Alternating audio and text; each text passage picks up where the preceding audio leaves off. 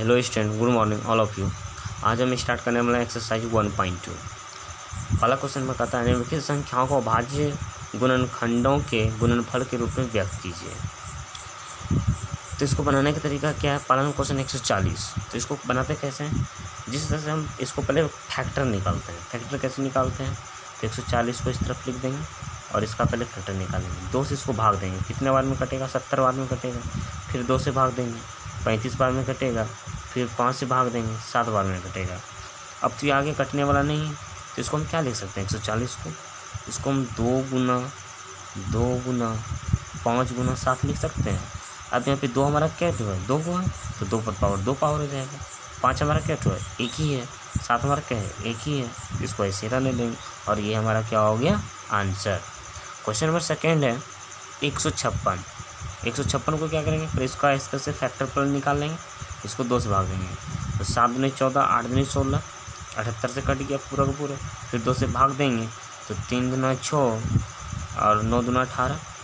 फिर ये दो से तो अब डिवाइड होगा नहीं, तीन से डिवाइड होगा, तेरह तिया उनचालीस। यानी कि एक सौ छप्पन को हम क्या लिख सकते हैं?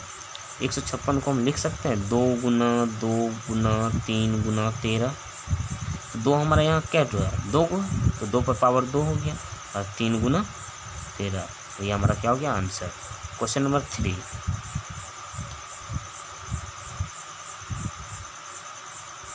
Question number three है, अड़तीस पच्चीस। ये अड़तीस पच्चीस,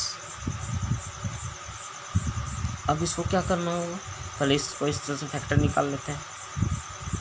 अड़तीस पच्चीस का। अब ये दो से तो डिवाइड होगा ना। या तो ये तीन से होगा, या तो ये पाँच से होगा। इसको करेंगे क्या? तो तीन से ही करते हैं। तो कितना हो गया? तीन एक तीन। फिर ये कितना बज गया? आठ है ये। तीन दूना छः, दो बज गया सात किया इक्कीस तीन बजे पंद्रह। अब तो ये तीन से नहीं जाएगा पाँच इसको देते हैं। पाँच दूना दस, पच्चीस पच्चीस पच्चीस पच्चीस। अब ये किससे जाएगा? और भी ये पाँच से जाएगा। पच्चीस पच्चीस।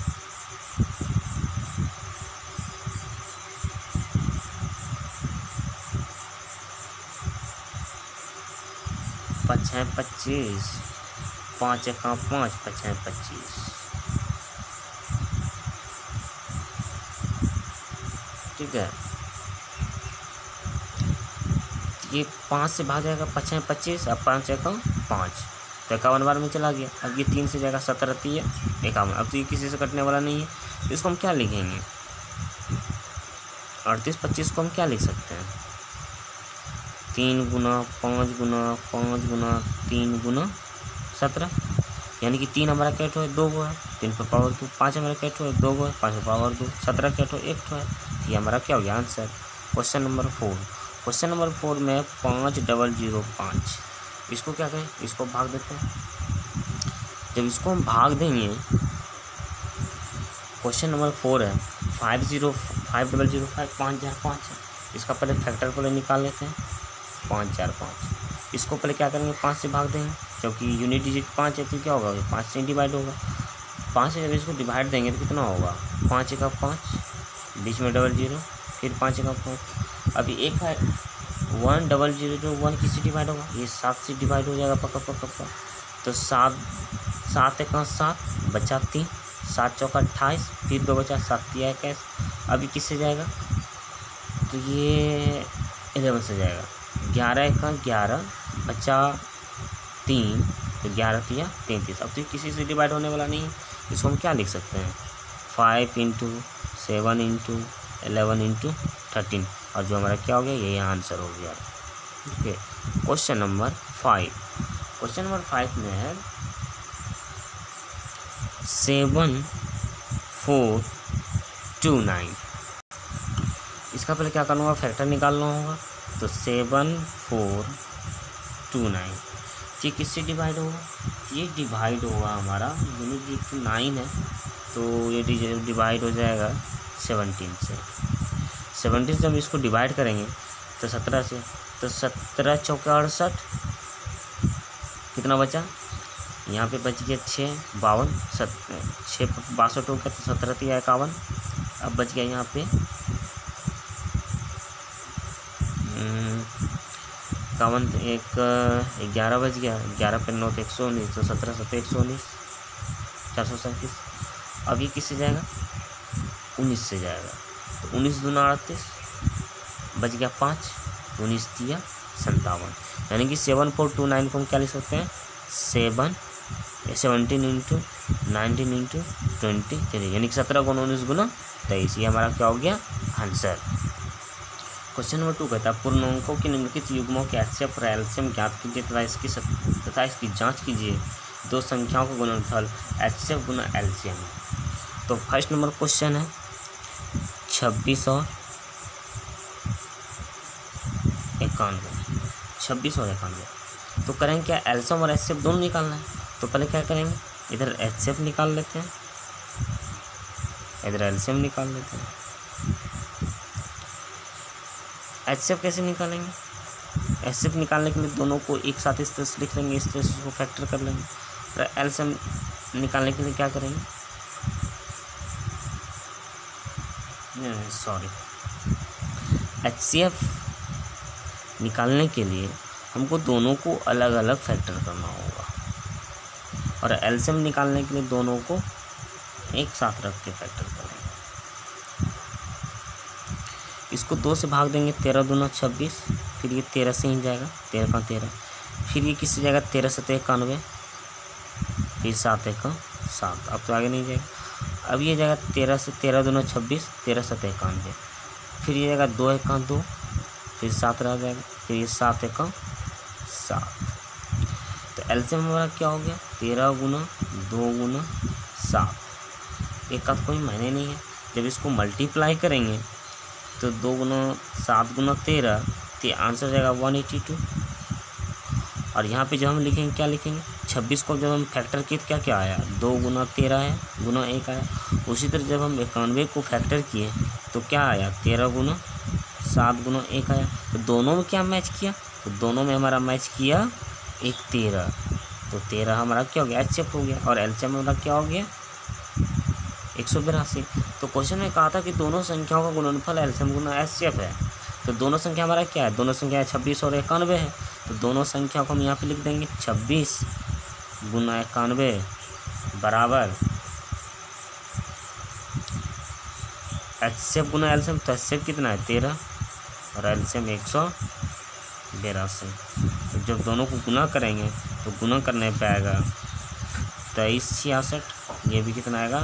तेईस, छियासठ। आंसर क्वेश्चन नंबर सेकंड है, पाँच सौ दस और बयानवे। इधर हम एच सी एफ़ निकाल लेते हैं, और इधर हम L C H C F निकालने के लिए दोनों को अलग अलग जैसे कि हम पहले बता चुके हैं। और एल सी एफ़ निकालने के लिए दोनों को एक साथ लिख देंगे। इसको दो से भाग देंगे। कितना होगा? दो दिन नहीं चार, एक बच्चा पाँच नहीं दस। एक बच्चा दो नहीं चार। एक ग्यारह। दो पंचे दस। एक तो दो पंचे दस। ये फिर पाँच से जाएगा पाँच छः पच्चीस। पाँच एक पाँच। फिर सत्रह तीन इक्यावन फिर ये सत्रह एक सत्रह। इसलिए दो से जाएगा। हम्म, छियालीस दूना बिरानवे। और ये फिर दो से जाएगा तो कितना होगा? तेईस दुना छियालीस। फिर ये तेईस से ही जाएगा तो क्या बचेगा यहाँ पे? एक बचेगा। अब इसको यहाँ पे करते हैं। दो से जाएगा। दो से जाएगा तो कितना होगा? दो सौ पचपन। और कितना हो जाएगा? छियालीस। अब तो यहाँ क्या है? दोनों में तो कुछ भी कॉमन नहीं है। अलग अलग ये डिवाइड होगा। तो इसको फाइव से दिए। तो ये इक्यावन। ये छियालीस का छियालीस रुपये फिर इसको डिवाइड देंगे। तीन से। तो सत्रह से इक्यावन। या फिर छियालीस का छियालीस ही रहेगा। फिर ये सत्रह को सत्रह से ही डिवाइड देंगे। तो क्या हो गया? एक हो गया, यहाँ पे छियालीस का छियालीस हो गया। अब छियालीस को हम क्या करेंगे? इसको दो से डिवाइड देते हैं। कितना हो गया? तेईस। अब इसको तेईस को तेईस से ही देंगे। कितना हो गया? एक एक हो गया तो पाँच सौ दस को अब हम फैक्टर क्या क्या किए? दो गुना पाँच गुना तीन गुना सत्रह गुना एक। और बिरानवे का फैक्टर क्या क्या किए? दो गुना दो गुना तेईस गुना एक यानी कि एच हमारा क्या निकल गया क्या मैच किया? एक ही दो तो मैच किया और एक एक मैच किया। तो दो गुना एक तो क्या हो गया? दो गया एच अब एल्सियम में क्या करेंगे?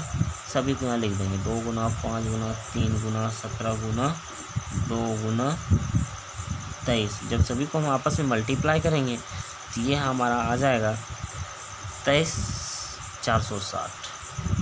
तेईस, चार सौ साठ। ये हमारा एच सी हो गया और ये हमारा एल हो गया। तो क्वेश्चन में क्या गया था? दोनों संख्याओं का गुणनफल, यानी कि पाँच सौ दस और बिरानवे का गुणनफल एलसीएम और एच के गुणनफल के बराबर, है ना? तो एच सी एफ़ हमारा क्या है? दो। और एल्शियम कितना है? तेईस, छियालीस। जब इसको आपस में हम गुना करेंगे तो ये हमारा हो जाएगा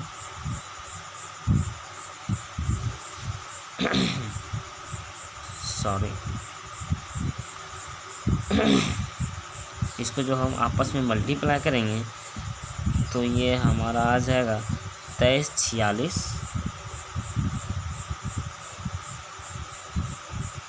ज़ीरो।